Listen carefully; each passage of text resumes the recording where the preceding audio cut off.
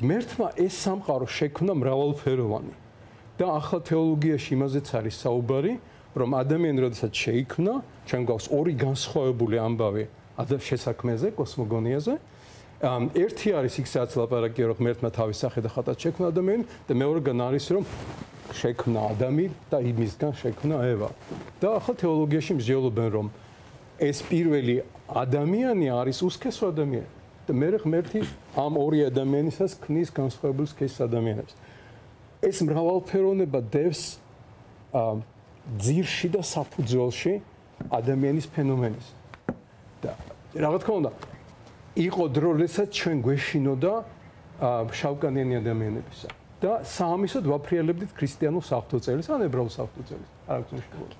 და რა თქმა უნდა ყოველთვის ადვილად შეიძლება მონახოთ ადგილი რომელთაც შეdaadასტუროთ რომ რა თქმა უნდა შავკანიანები არიან არასრულფასოვნებით ერთგანებთან მეერთად საფრთხეების მიხედვით მაგრამ გავიდა დრო და მიხვდით რომ ეს იყო სიბრიყე.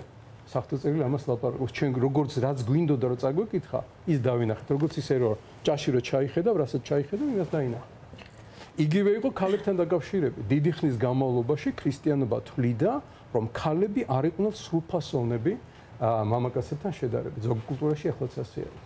მაგრამ მე მივხვდით, რომ ეს სიბრიყვი არის და შეუძლებელია, რომ ქალი დამცირებული იყოს ქრისტიანობის სახელით და თუნდაც იგივე იესო ნაზარეველის სახელით, რომელიც ქალების მეგობარი იყო და კამბრეთ პრომოციას ეწეოდა მთელი ცხოვრების მანძილზე.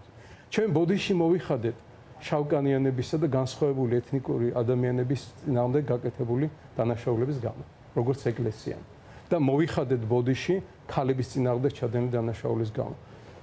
მოვა დრო, როდესაც ქრისტიანული ეკლესია საყოველთაოდ ბოდიშს მოიხდის იმის გამო, რასაც ჩვენ ვაკეთებთ LGBT თემის წარმომადგენლების წინააღმდეგ. ეს უნდა მოხდეს. ეს თუ არ მოხდა, არც ქრისტიანობას აქვს მომავალი, არც ამ ცივილიზაციას არ აქვს მომავალი. ჩვენ დავჩაგროთ, გავრიყოთ